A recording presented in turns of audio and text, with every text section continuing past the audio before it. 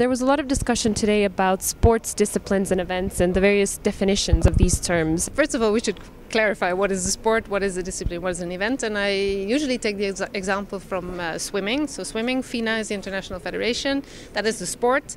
Um, then you have uh, a discipline which would be, I don't know, water polo, an event would be water polo men. It'll be a, a major task to really evaluate all, all the events because uh, you don't look at 28 Summer Olympic sports, but you also look at, at, at all the di- different events on that. But I, but I think it, it's rightly so because um, at a certain point in time we said uh, this is it with the uh, amount of events.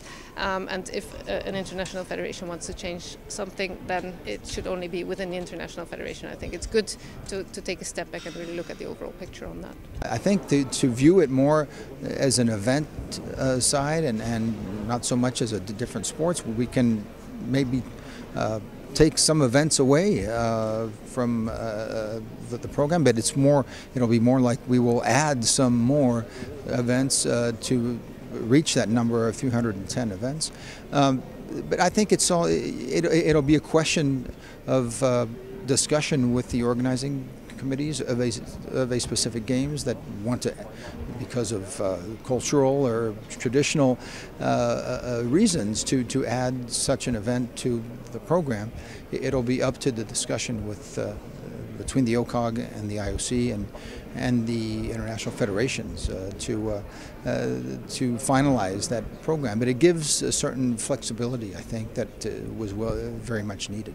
As you saw, we advocated uh, in in the recommendations uh, more temporary facilities and structures that can be easily set up and, and taken down or moved and so uh, that, is, that gives the organizing committees much more flexibility and has an impact, of course, on their overall budget. And I think that was important to reiterate that. It's been, it had been said before in uh, other forums, but, but it, it, was important to, to uh, see it uh, written out.